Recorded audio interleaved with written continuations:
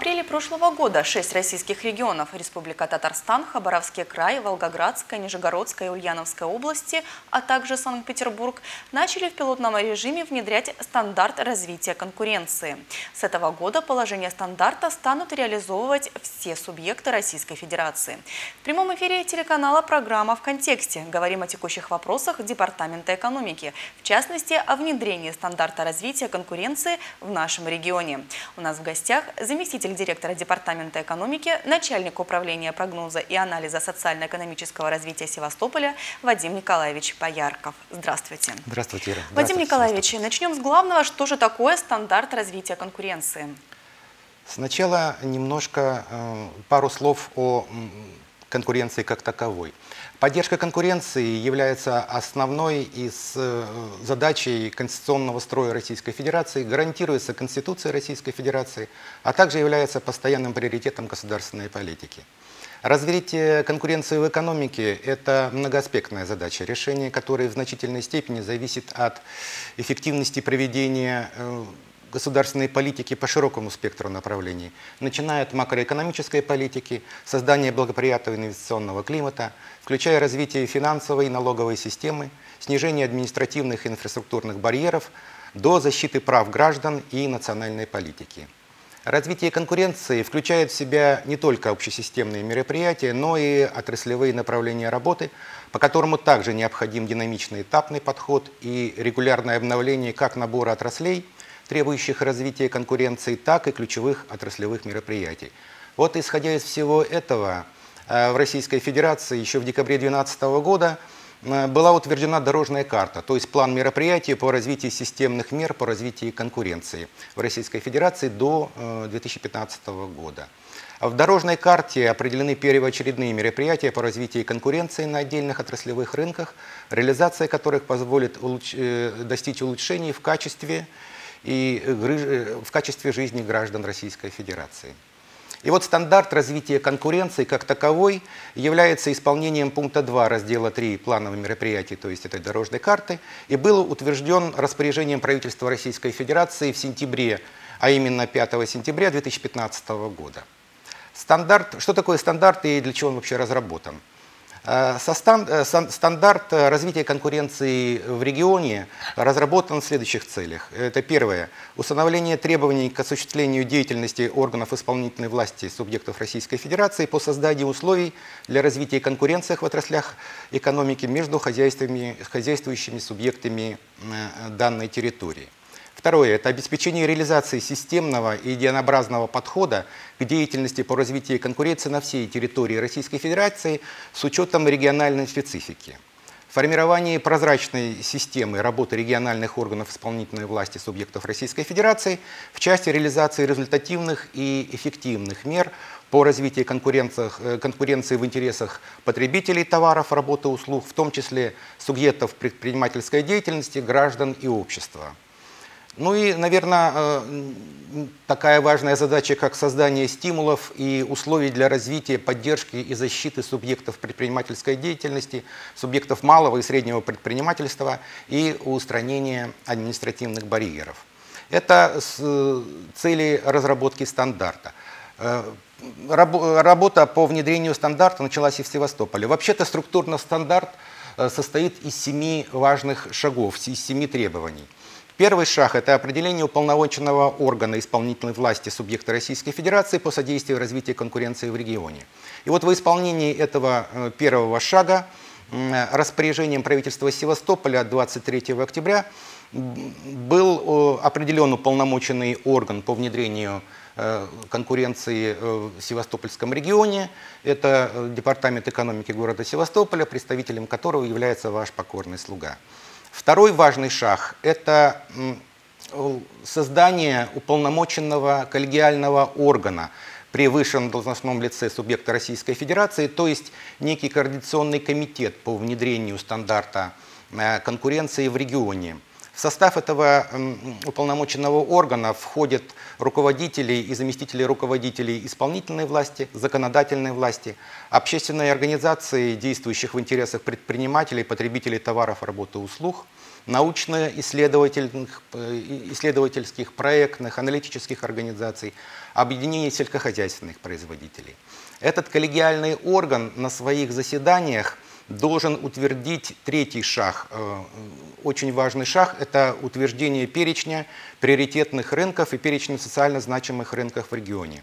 Не секрет, что э, все э, граждане являются потребителями услуг или товаров на различных рынках. Но кроме этого, существует, э, кроме региональных рынков, существует еще и перечень э, социально значимых рынков, э, так называемый обязательный перечень рынков. Это рынок услуг дошкольного образования, детского отдыха, оздоровления, рынок дополнительного образования детей, рынок медицинских услуг, рынок услуг в сфере культуры, жилищно-коммунального хозяйства, розничная торговля, рынок услуг перевозок пассажиров наземным транспортом, рынок услуг связи, социального обслуживания населения. И вот кроме этого приоритетного э, перечня рынков, э, вот коллегиальный орган должен разработать и добавить сюда еще региональные рынки, которые существуют э, специфично для Севастопольского региона. Четвертым важным шагом является разработка плана мероприятия, вот именно дорожной карты по содействию развития конкуренции в регионе. Дорожная карта будет разрабатываться на основе анализа результатов мониторинга, который будет э, проходить различными проектными и исследовательскими организациями. При этом дорожная карта не является таким монолитным органом, она будет ежегодно вноситься изменения э, с учетом э, результатов проведения анализа. Пятым шагом является мониторинг состояния развития конкурентной среды на рынке товаров и услуг субъекта Российской Федерации. Мониторинг будет включать в себя определение наличия или отсутствия административных барьеров и оценки состояния конкурентной среды субъектами, субъектами предпринимательской деятельности именно э, самого региона. Удовлетворение потребностей потребителей качеством э, товаров, работы, услуг на товарных рынках субъекта Российской Федерации, а также состояние ценовой конкуренции. Э, шестым пунктом требований стандарта является создание и реализация механизмов общественного контроля за деятельностью субъектами, э, субъектов э, естественных монополий в электроэнергетике, на железнодорожном транспорте, в сфере почтовой связи, электросвязи, теплоснабжения, на газовых рынках, в сфере услуг аэропортов, внедрение механизма технологического и ценового аудита инвестиционных проектов субъектов естественных монополий, в рамках которых в том числе э, обеспечивается учет мнения потребителей товаров, работы услуг субъектов естественных монополий. И седьмым пунктом является повышение уровня информированности субъектов предпринимательской деятельности и потребителей товаров, работы, услуг о состоянии конкурентной среды в регионе. Информация и документы, касающихся внедрения стандарта, необходимо, и они будут размещаться на официальном сайте правительства Севастополя и на официальном сайте Департамента экономики, экономики города Севастополя. Возникает вопрос, а что э, будет э, результатом, допустим, внедрения э, стандарта развития конкуренции в регионе? Ну, как не банально звучит, это улучшение жителей, улучшение жизни, показателей жизни жителей нашего города. Ну, допустим, в стандарте определены целевые показатели, на достижение которые направлены мероприятия дорожной карты. Вот, допустим, рынок услуг дошкольного образования. Необходимо создание условий для развития конкуренции на рынке услуг дошкольного образования, развитие сектора частных дошкольных образовательных, образовательных организаций, рынок услуг детского отдыха и оздоровления – Опять же, создание, э, развитие конкуренции на, э, на этом рынке, развитие сектора негосударственных или не муниципальных организаций отдыха и оздоровления детей, э, рынок услуг жилищно-коммунального хозяйства, повышение качества оказания услуг на рынке управления жильем, за счет э, допуска к этой деятельности организаций на профессиональной основе осуществляющих деятельность по управлению многоквартирными домами на территории субъекта Российской Федерации. Вообще принципе, э, принципами э, внедрения стандарта является, во-первых, в первую очередь, в первую голову ориентация на потребителя системный подход совершенствования деятельности органов исполнительной власти, постоянное улучшение деятельности, повышение удовлетворенности потребителей и других участников экономической деятельности качеством товаров, работы, услуг, обеспечение информационного взаимодействия с потребителями товаров, товаров работы, услуг. Ну и, э, как я уже говорил, это прозрачность деятельности, содействие органов исполнительной власти субъектов в обеспечении открытости и доступности для всех потребителей товаров, работы, услуг и других участников экономической деятельности, информация о мероприятиях по содействию развития конкуренции, процедурах оказания услуг, а также решениях, оказывающих на воздействие на экономическую конкуренцию. Хочется сказать, что э, ввиду того, что Крым и Севастополь как самые молодые из э, вновь вступивших э, в лоно Российской Федерации, у нас эта работа только начинается. Только начинается, но работа эта, еще раз повторюсь, она э, серьезная, многоаспектная, и э, решение, которое зависит от всех составляющих и власти, как и власти, так и предпринимательской среды. Вадим Николаевич, у нас осталось немного времени, 4 минуты. Давайте же поговорим конкретно, какая работа проводится органами исполнительной власти в этом направлении. Конкретная работа. Конкретная работа органов исполнительной власти – это сейчас обеспечение нормативно-правовыми актами. То есть, как я уже сказал, э, первый шаг уже сделан. Э, из требований стандарта определено уполномоченное лицо. Теперь будет создаваться коллегиальный орган, но работа идет постепенно. Уже э, создается уже проект дорожной карты, мы будем работать очень тесно, взаимодействовать с научными проектами, организациями. Э, в, том числе и э, с такой организацией, как Федеральная антимонопольная служба, ведь кураторами в Российской Федерации стандартами является Федеральная монопольная служба и Агентство содействия инвестициям.